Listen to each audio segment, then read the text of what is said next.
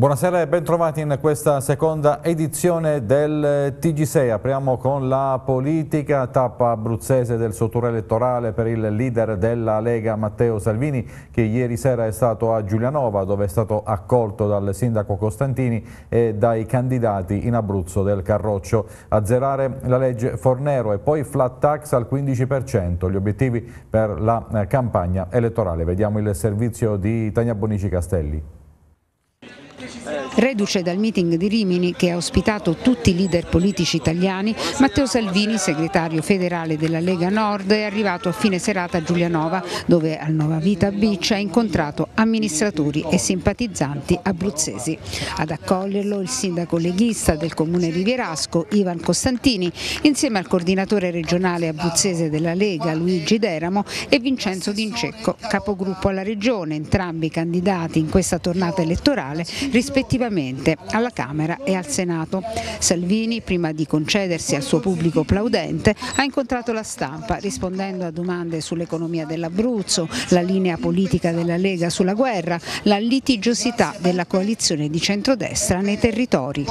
Proponiamo quello che in parte abbiamo già fatto, la flat tax, la tassa piatta semplice al 15% da estendere ai 2 milioni di partita IVA che già oggi ce l'hanno alle imprese e alle famiglie, ovviamente a partire da chi guadagna di meno e fattura di meno, l'azzeramento della legge Fornero che manda in pensione un milione di lavoratrici e lavoratori nei prossimi anni e permette alle aziende di assumere lavoratori giovani, la pace fiscale, la rottamazione delle cartelle dell'Agenzia delle Entrate e la revisione del reddito di cittadinanza. La Lega ha votato in Italia e in Europa qualunque tipo di aiuto all'Ucraina, semplicemente dopo mesi di sanzioni i numeri dicono che, che non stanno fermando la guerra e non stanno mettendo in ginocchio la Russia e quindi io faccio qualcosa che serve, anzi sono le imprese italiane che rischiano di pagare queste sanzioni, quindi sarebbe il primo caso nella storia in cui quello che viene sanzionato ci guadagna e quello che mette le sanzioni ci perde, bisogna provare in tutti i modi a fermare questa guerra. Cosa da dire ai gestori degli stabilimenti? Che con i decreti attuativi che farà il nuovo governo si possono tutelare tutti. Se si stabilisce il valore aziendale congruo per ogni balneare che volesse lasciare il posto e si stabilisce la prelazione per chi campa di questo lavoro, abbiamo reso un ottimo servizio a 30.000 aziende. Centrodestra è compatto, governa 14 regioni su 20, a sinistra queste politiche ho perso il conto di quanti candidati abbiano. Noi facciamo della compattezza e dell'unione un nostro valore aggiunto. Sin dal primo pomeriggio pomeriggio le forze dell'ordine, in particolare la Digos, hanno presidiato il lungomare Zara di Giulianova per evitare incidenti e proteste pericolose, dopo che due giorni fa era apparso proprio davanti al Nova Vita uno striscione offensivo nei confronti del leader leghista. Ma il colpo di scena c'è stato e come, a sorpresa, a traffico bloccato, proprio sul lungomare è transitato il trenino turistico che non trasportava bambini, ma decine di dissidenti che hanno urlato di tutto. La Lega ha scelto candidati abruzzesi per questa tornata elettorale, una cosa particolare. Eh, L'onorevole Deramo, che è anche coordinatore regionale, ha sempre eh, tenuto informati i coordinatori provinciali, ha sempre voluto delle scelte territoriali, ha sempre fatto dei ragionamenti logici insieme a noi, ma soprattutto insieme a Matteo Salvini, che dobbiamo ringraziare perché lui non mette catapultati come hanno fatto altri partiti e l'Abruzzo avrà una sua realtà, avrà una sua rappresentanza e avrà degli amministratori amministratori sicuramente che potranno fare il bene del nostro territorio. Dovrà coinvolgere tutti. Ed ora la cronaca, il comune di Roseto degli Abruzzi annuncia che è stato eh, proclamato il lutto cittadino per il 25 agosto, la giornata dunque di eh, domani, giorno in cui si svolgeranno i funerali della compianta Flavia Di Bonaventura, ehm, giovane rosetana che è venuta prematuramente a mancare a seguito di un terribile incidente stradale che ha visto coinvolti tre giovani rosetani. Eh, la celebrazione delle esequie si svolgerà a partire dalle ore 16 in piazza della Repubblica dinanzi al municipio. Il Comune di Roseto invita tutti i cittadini ad esprimere in forme decise autonomamente la propria partecipazione al lutto e i pubblici esercizi e gli esercizi commerciali alla chiusura dell'attività nel corso della cerimonia funebre, evitando comportamenti che contrastino con lo spirito del lutto cittadino. Inoltre ordina l'esposizione a mezz'asta delle bandiere negli edifici pubblici.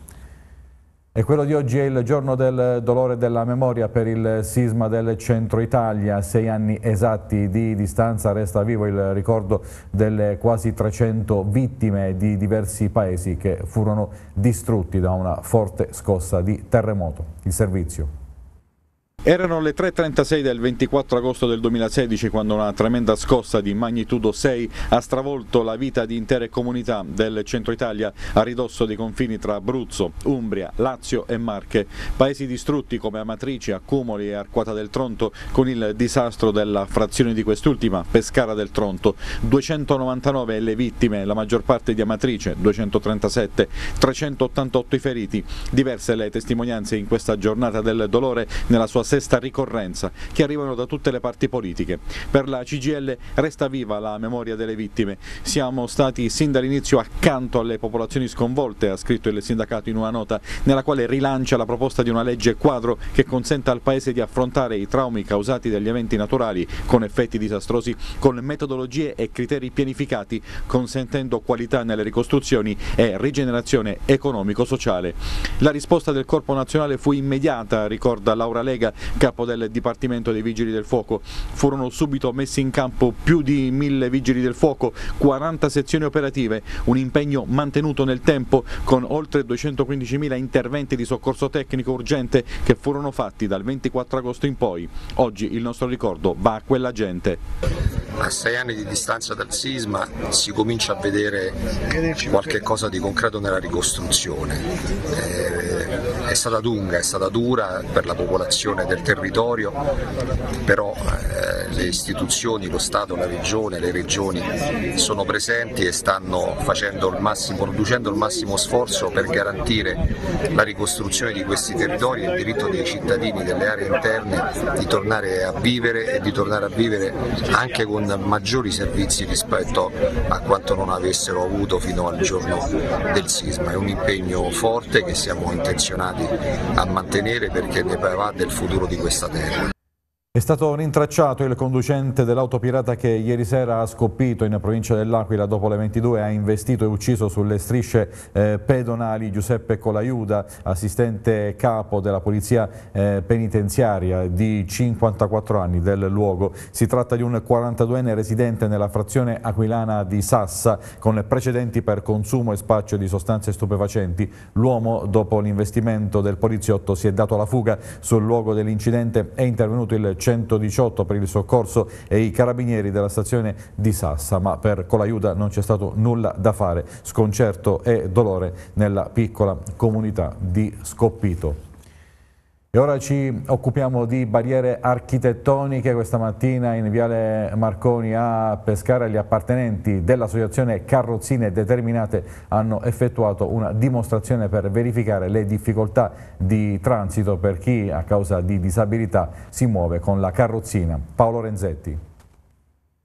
Ferrante, lei oggi è venuto qui eh, per eh, vedere qual è la situazione in via Marconi per quanto riguarda quelle persone che come lei sono costrette a muoversi sulla carrozzina, quali sono i problemi emersi? Eh, avevamo già denunciato questo scempio mesi fa, eh, non è cambiato nulla, ci troviamo di fronte a una situazione totale di fuorilegge, siamo completamente fuorilegge, eh, qui c'è una violazione costante dei diritti umani, abbiamo eh, pendenze che superano le norme previste per l'accessibilità, abbiamo la banchina di fermata che non consente assolutamente né di salire e né di scendere dall'autobus perché non ci sono assolutamente, eh, non c'è lo spazio necessario, non ci sono i cordoli eh, per la sicurezza, eh, rischio di cadere in mezzo alla strada e di farsi male, impossibilità addirittura anche a eh, attraversare questa strada.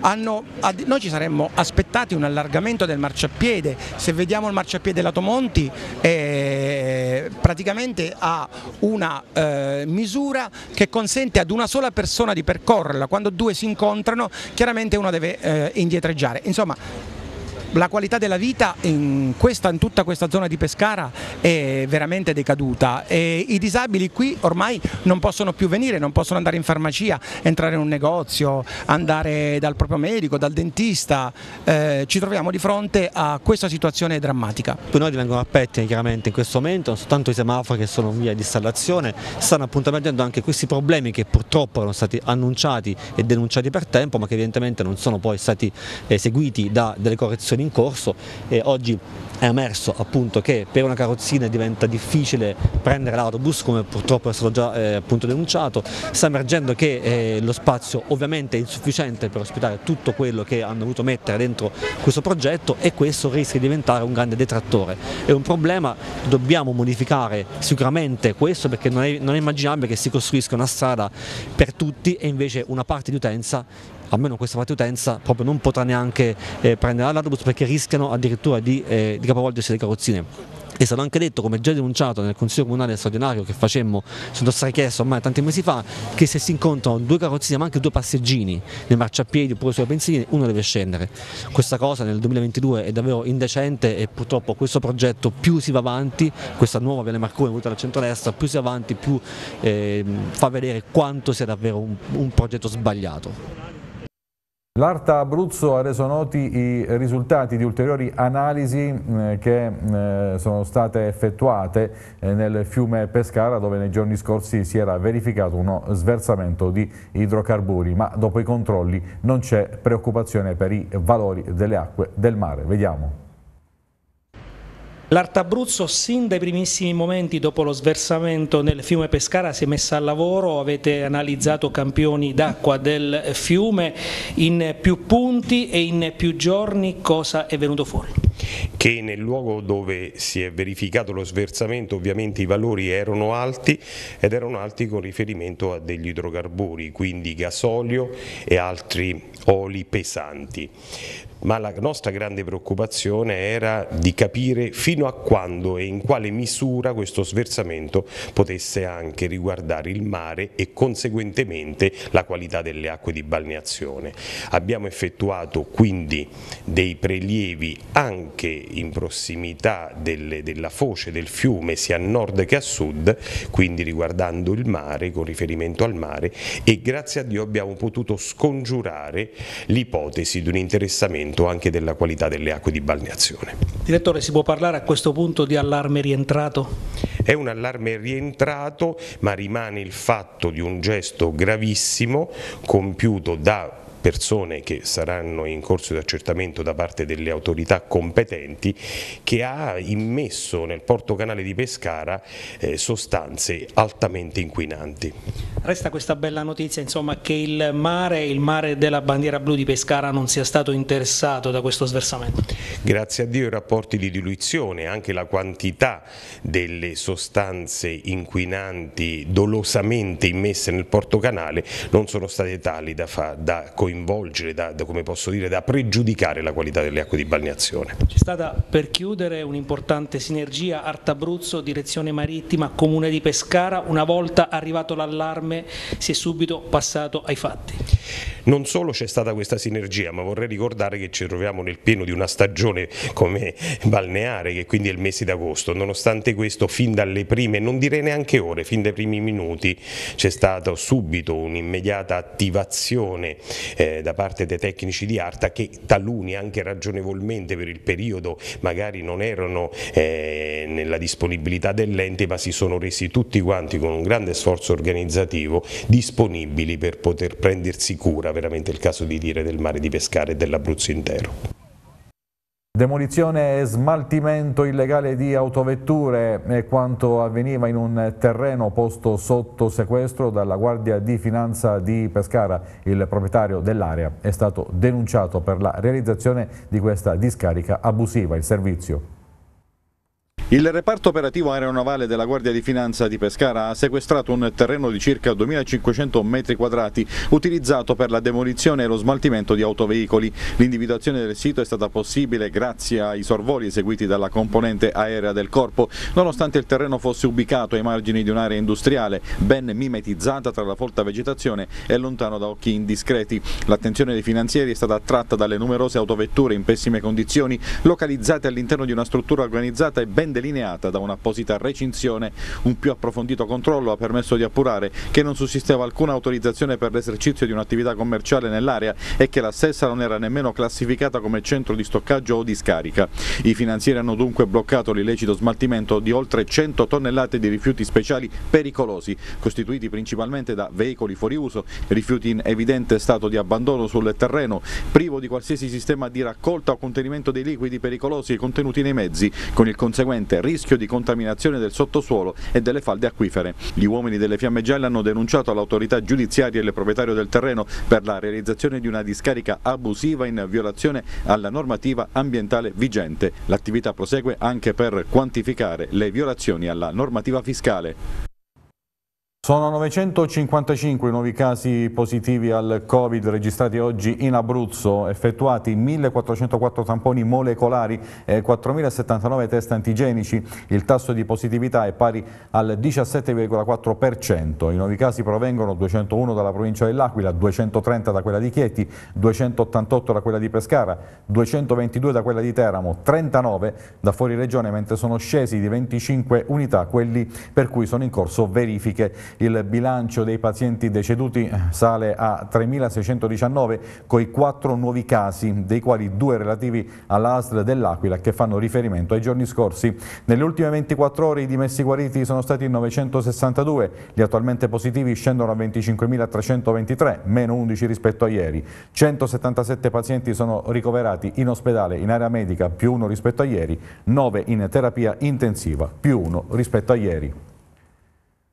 Sit-in degli Ossi in servizio alla ASLA Lanciano Vasto Chieti per chiedere la stabilizzazione dopo aver lavorato nel periodo Covid. Vediamo il servizio.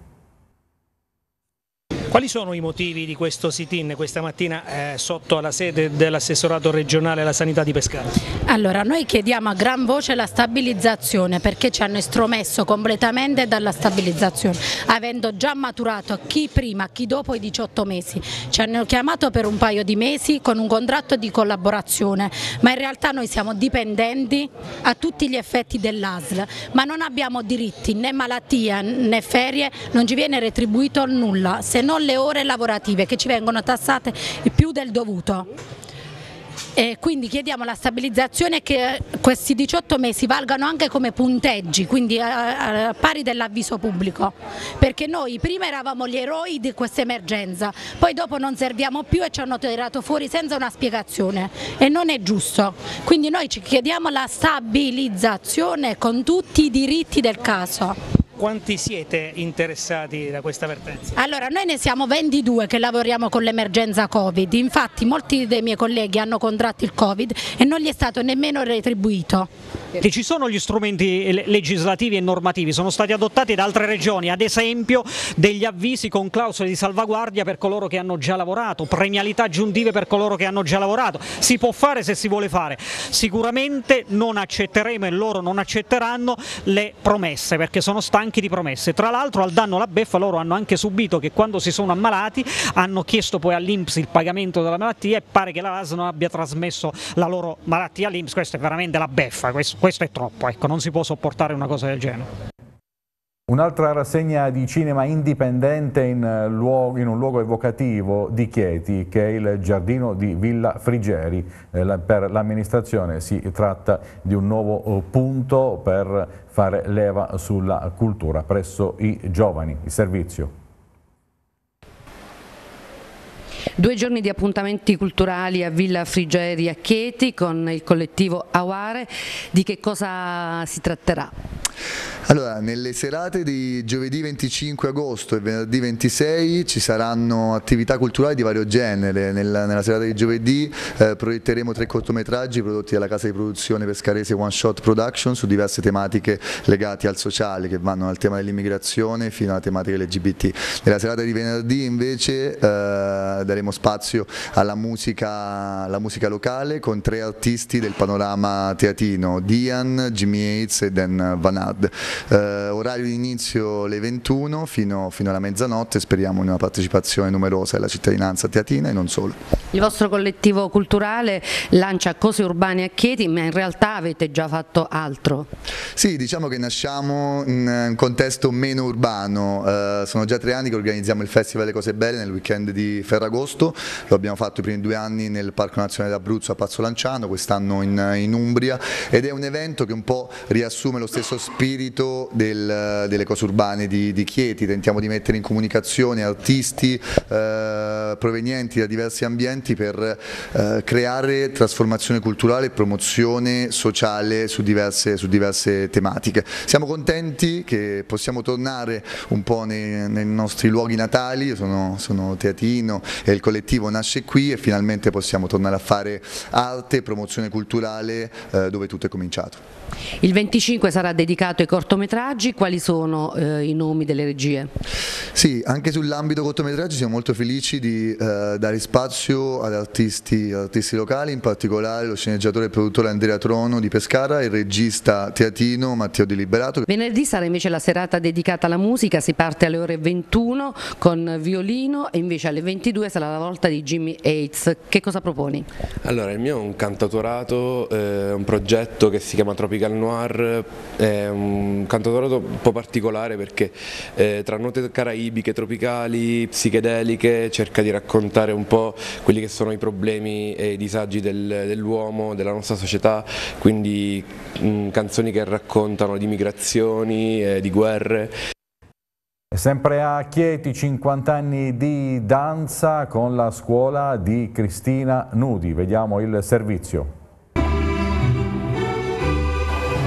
Spettacolo di danza classica alla Villa Comunale di Chieti che festeggia tra l'altro i 50 anni della scuola di danza, ora chiamata Cristina Nudi, ma nel 73 quando nacque era scuola di danza classica a Chieti, la seconda in Abruzzo peraltro. Sì, sì perché all'epoca in Abruzzo non, non c'era la presenza della danza, per cui la scuola che è la prima, mia mamma, è nel 1972, eh, non vorrei sbagliare, credo o la seconda o la terza perché c'era Teramo e L'Aquila e poi ci siamo stati noi qui a Chieti. Chieti e quindi resistiamo ancora dal 1972, siamo nel 2022, è un bel pezzo di vita decisamente passato a fare danza, mm, l'ho fatta tutta la vita. Quindi... Collaborazioni anche con Tornatore? Sì, collaborazioni abbastanza importanti, devo dire, molto belle, impegnative, come assistente alla coreografia insieme con Leontin Snell.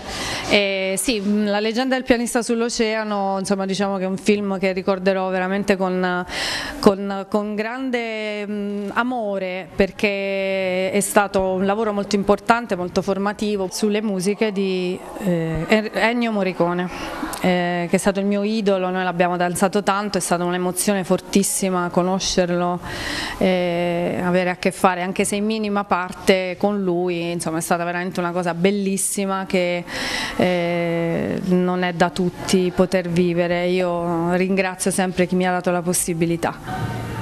E per festeggiare i 50 anni portate in scena uno spettacolo che riguarderà quali coreografie? Allora portiamo sulla scena una rivisitazione della Carmen di Bizet in una versione um, proprio per la danza ovviamente rivisitata per l'occasione, riadattata alle allieve di una scuola. E poi portiamo una parte di, dedicata alla danza moderna che vuole eh, praticamente esorcizzare tra, tra virgolette questo brutto periodo che noi abbiamo vissuto che ci ha visti anche un po' costretti all'inattività, non abbiamo potuto danzare, quindi mh, un inno alla libertà, alla, alla gioia, alla speranza e, e, soprattutto per i giovani. E poi una terza parte dedicata ai Pink Floyd, un gruppo a me molto caro, con delle coreografie ispirate anche al, ai primordi fatti da Roland Petit, quindi un, un omaggio ai Pink Floyd, rivisitato da me. E siamo allo sport, Pescara sempre a caccia di un regista per cui sono in pista ehm, dei possibili ritorni, uno è quello di Luca Palmiero in pole position ma che attende una chiamata dalla Serie B, l'altro eh, possibile ritorno è quello di Carlo Derisio a Pescara lo scorso anno e che ha proposte da squadre di C quali Turris e Monopoli. Sfuma invece Joshua Tenkorang della Cremonese eh, che, che, è diventato da eh, pochissimo un nuovo giocatore della Virtus Entella. Per l'attacco restano sempre in ballo le opzioni Marco Sau e King Udo, anche se su quest'ultimo c'è forte l'Avellino. Oggi doppia seduta per i eh, biancazzurri, da ieri sono tornati ad allenarsi delle Monache e Rasi. E ora ascoltiamo Erdis Kraja. Erdis Kraja, quali sono le sensazioni dopo queste prime settimane di lavoro con questo nuovo gruppo per te? Diciamo che le sensazioni a caldo sono positive perché ho trovato un bel gruppo che lavora bene e comunque c'è il massimo impegno da parte di tutti. Ovviamente poi eh, dobbiamo mettere minuti nelle gambe, la condizione fisica è quella che è, però comunque secondo me se continuiamo a lavorare insieme, a trovare, analizziamo le cose che non vanno e che vanno, riusciamo comunque a prepararci bene per il campionato. Senti, una trattativa un po' lunga ci pare, quella tra te e il Pescara con anche chiaramente l'Atalanta. Mm, cosa è accaduto in quelle settimane? No, non è accaduto niente di, di, che, appena mi ha chiamato il Pescara devo dire che è stata una chiamata veramente che ho apprezzato fin da subito e uh, poi con l'Atalanta ovviamente abbiamo risolto delle situazioni interne ma erano delle cose veramente piccole e niente, appena ho avuto la possibilità di venire ero super contento di, di partecipare a questo progetto e non vedo l'ora di iniziare il campionato. Le tue caratteristiche tecniche? Tecniche ti posso dire eh, posso fare tutti i ruoli in mezzo al campo, poi ovviamente sono un giocatore che predilige avere la palla che non averla, però ovviamente ormai il centrocampista deve saper fare tutte le fasi, quindi mi metto a disposizione per tutto. Sei stato in D, una piazza molto grande, importante come Palermo, poi hai fatto due anni di Lega Pro, eh, che stagione è questa per te, per la tua carriera? Diciamo che è una stagione molto importante come quelle tre che hai appena nominato perché ogni stagione ha la sua. Eh, io spero di dare il mio contributo quest'anno e di alzare sempre l'asticella come ho fatto ogni anno, quindi non vedo l'ora di dare il mio contributo in campo quest'anno. L'ultima, quanta attesa c'è per iniziare questa stagione che è slittata di una settimana? Dovete ancora conoscere il calendario, stagione che porterà a cosa? Beh, diciamo che lo slittamento del campionato può pesare, però diciamo che noi siamo focalizzati sul, sul lavoro, ogni settimana settimana la stiamo preparando bene e ci concentriamo su quello, poi appena avremo notizie noi ci faremo trovare pronti. Si terrà domattina alle ore 10 l'udienza al Consiglio di Stato che dovrà giudicare mh, i ricorsi eh, presentati da Campobasso e Teramo che puntano alla riammissione nel campionato di Serie C o in alternativa all'ammissione in Serie D. La sentenza è attesa tra il tardo pomeriggio di domani e venerdì mattina e subito dopo la Lega Pro diramerà i calendari. Il Presidente Ghirelli ha fatto sapere che in caso di riammissioni ci saranno modifiche al format ma non all'attuale composizione dei gironi.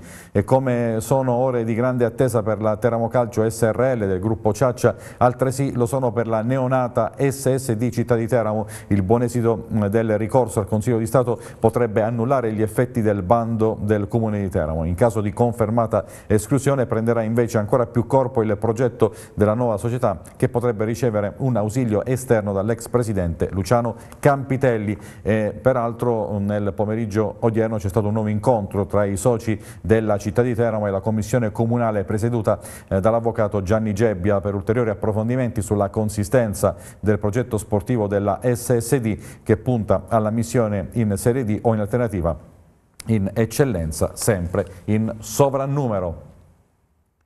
Il volley, ieri sera il raduno del roster dell'Abba Pineto Volley, dopo la finale promozione persa la scorsa stagione, la società resta ambiziosa e tenta nuovamente la scalata alla A2. Sergio Zappalorto. Allora Ruggero Balducci è un dirigente che ci dà finalmente, ci fa scoprire quel ba di Abba, perché Ab sempre Abba, Abba, abbondanza è presente, non ne possiamo più. E adesso ci sta l'altro pezzo, eh, Ba come Balducci, Ruggero.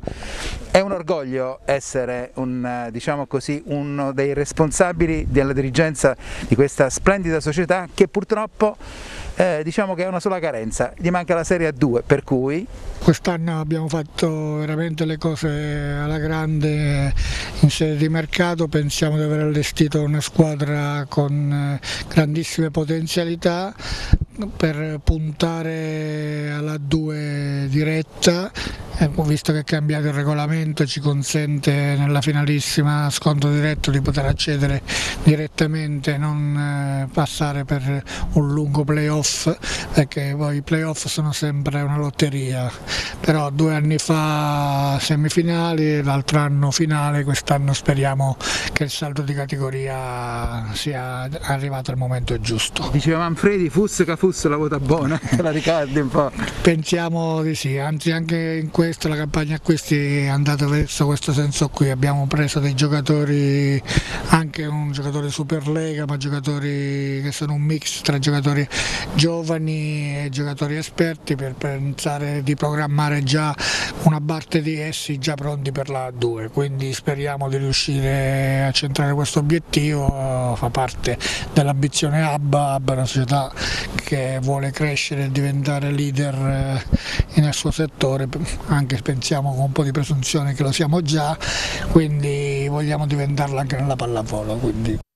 Un messaggio in chiusura alla Mediasix SRL, titolare dell'impresa di radiodiffusione televisiva in ambito locale denominata TV6, informa che intende diffondere messaggi politici autogestiti a pagamento per le elezioni politiche fissate per il giorno 25 settembre 2022. A tal fine informa che nella sede di Silvi, strada statale Nord 26, al telefono 085 930020 è depositato un documento consultabile da chiunque ne abbia interesse concernente. Le condizioni temporali di prenotazione degli spazi per i messaggi politici autogestiti a pagamento con indicazione del termine ultimo per essere prenotati. Le modalità di prenotazione, le tariffe per i messaggi politici autogestiti a pagamento determinate dalla Mediasix SRL, ogni ulteriore circostanza o elemento tecnico rilevante per la fruizione degli spazi. Io vi ricordo che tutti i servizi che avete visto in questa edizione sono disponibili on demand sulla nostra piattaforma YouTube oppure sul sito www.tv6.it. Grazie per l'attenzione e l'appuntamento è con le prossime edizioni del nostro notiziario.